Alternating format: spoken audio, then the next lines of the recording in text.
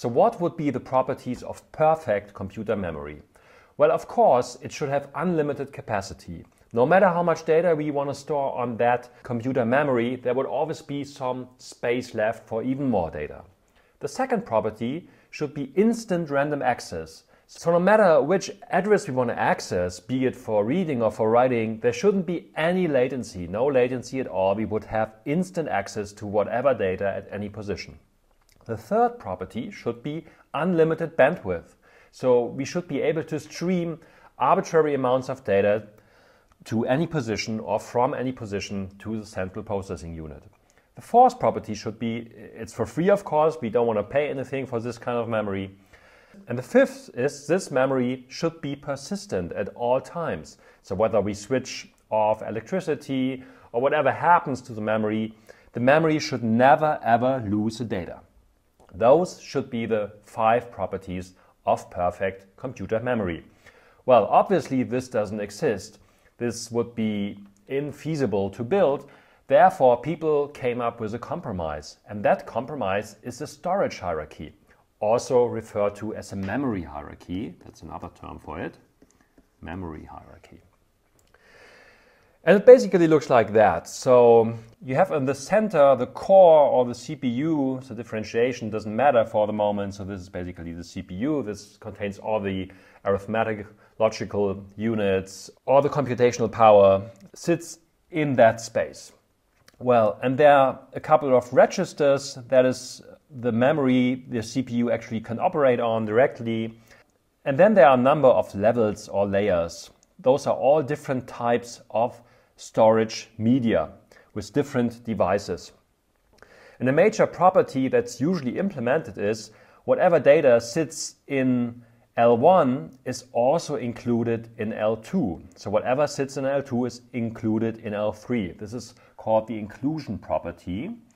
Inclusion. So this means that L1 contains a subset of L2, contains a subset of L3, contains a subset of main memory, and so forth. That's the inclusion property. There's some machines that don't require that at all times, but usually you have that inclusion property. So, the major properties in a storage hierarchy are depicted here on the left and on the right. So let's start with the left.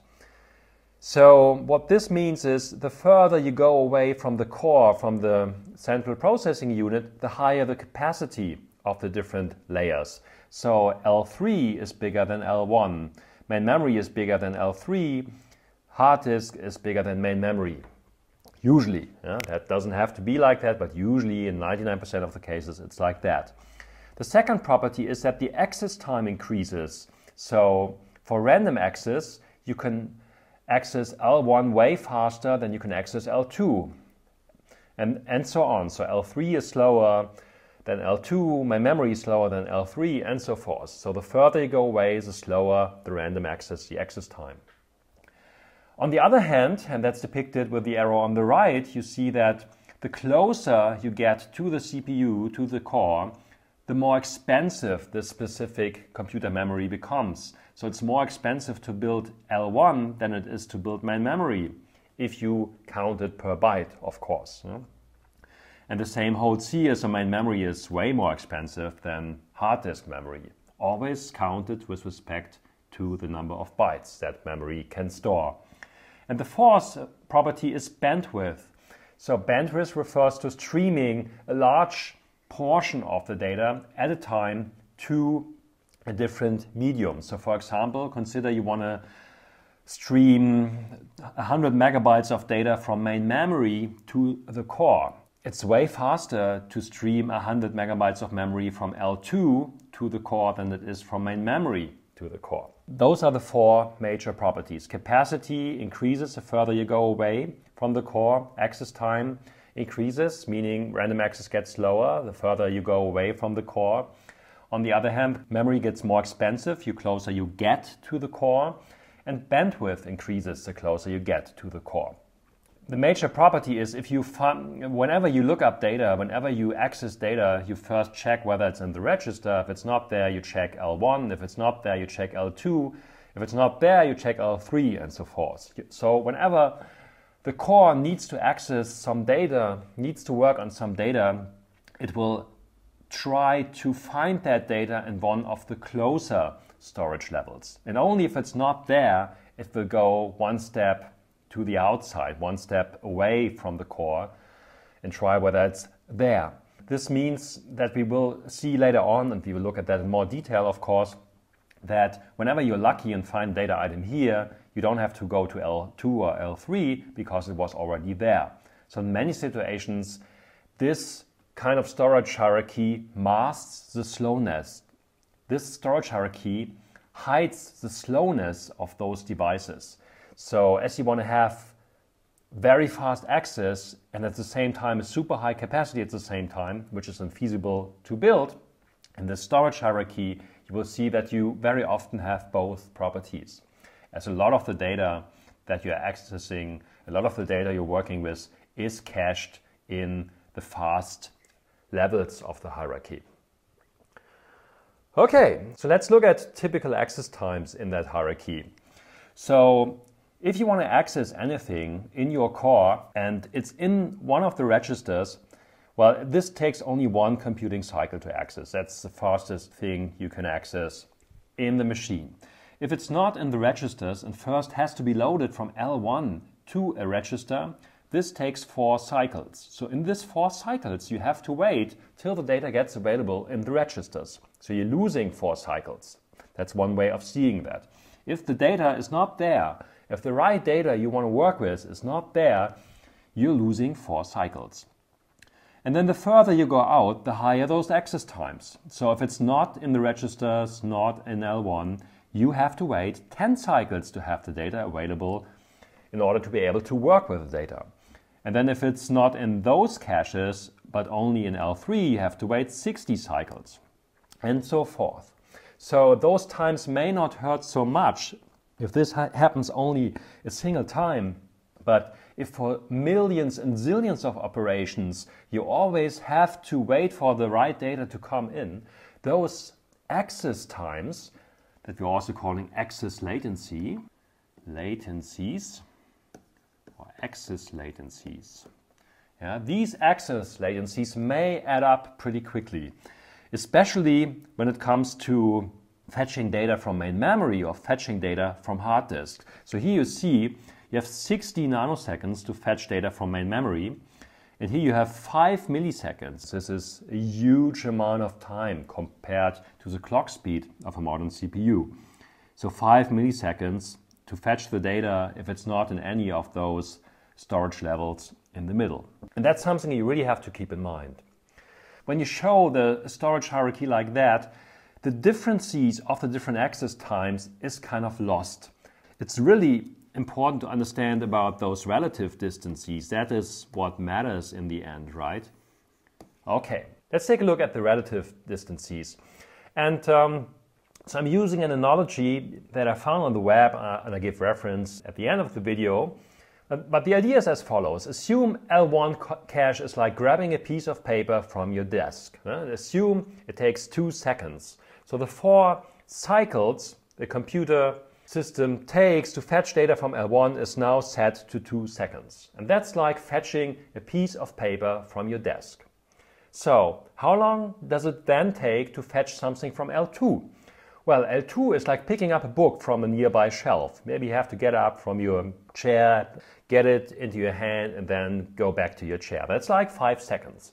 And that's already a difference of factor 2.5. So what about L3? L3 is like picking up a book from the next room. This is like 30 seconds or a factor 15 difference. What about main memory? What about DRAM? Well, DRAM is taking a walk down the hall to buy a Twix bar, and that's 90 seconds or a factor 45 difference to L1 cache.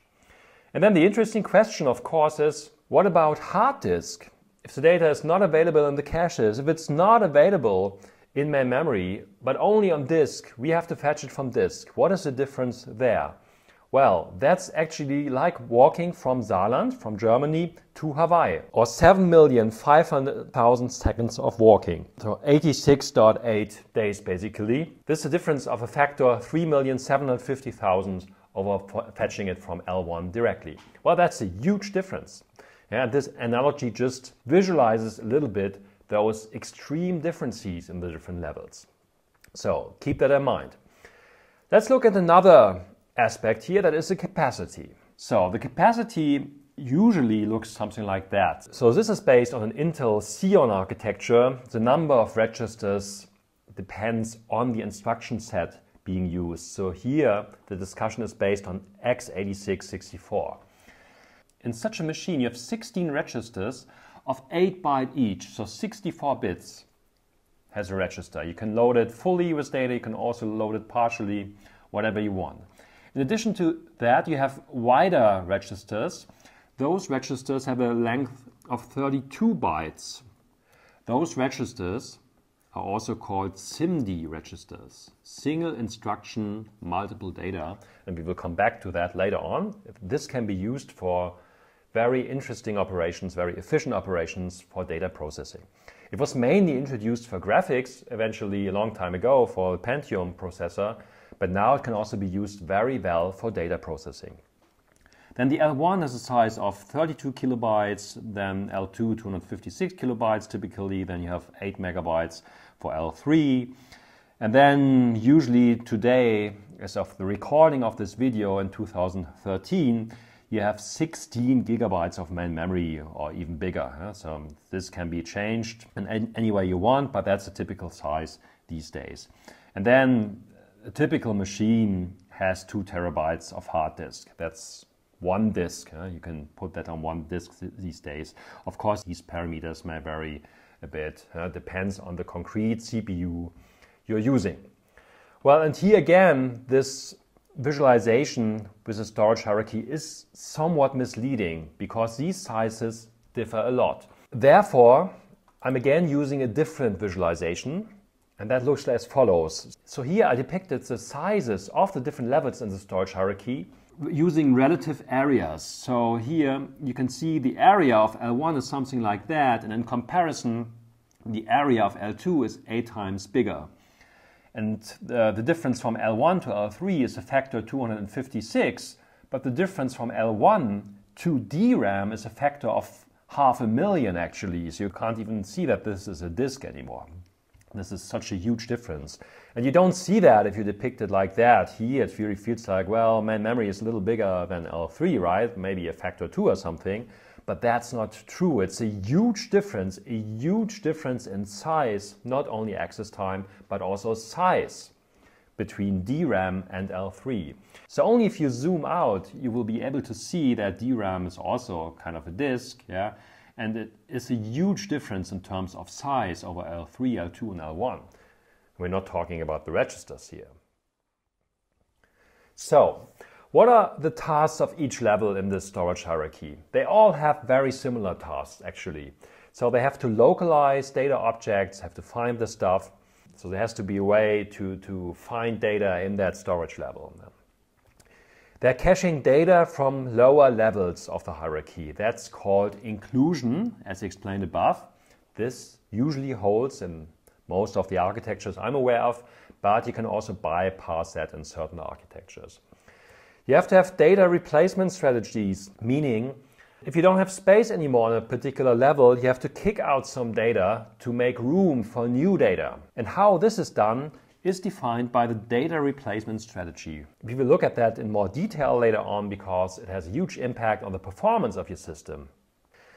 Another important property that has to be handled is writing modified data. So let's assume again you have two layers in that hierarchy. Let's say you have L3. Yeah, let's make it like that. So this is L3. And we have main memory, something like that, right? Okay. Okay, and you have a data item you load from main memory into L3. Let's say this data item is called A. So A is loaded into L3. Now it's in L3 as a copy, it's the inclusion property. But then it's modified from the CPU. And now it becomes A prime. This is a changed version of A prime. So eventually you need to write A prime back to main memory. And maybe then you need to write it back to hard disk or tape. Here you basically have two different strategies. First is write through. So write through means that immediately when A got changed to A prime, you write it back to main memory. You write back the changed item to main memory. That is write through, immediate writing of the data back to main memory. The other option is write back. Write back means you don't write it back immediately, but you wait till this element is thrown out of L3 due to replacement, due to data replacement. Don't worry, we will look at that in more detail, but for the moment, there are those two strategies, and you have to make a decision whether you immediately write change data down to lower levels or whether you wait till the data gets replaced in this level here, and then this is a write back strategy. But anyway, all these properties are super similar for all levels of the hierarchy. And that is why this leads to a so-called pattern. So I'm calling this the all levels are equal pattern. And what I mean by that, I will explain in my next video.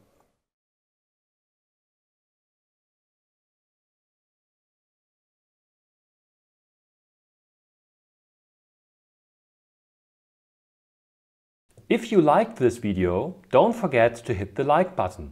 Thank you. So if you want to see more database videos, be it in English or in German, take a look at my website datenbankenlernen.de. It has a couple of English and German videos.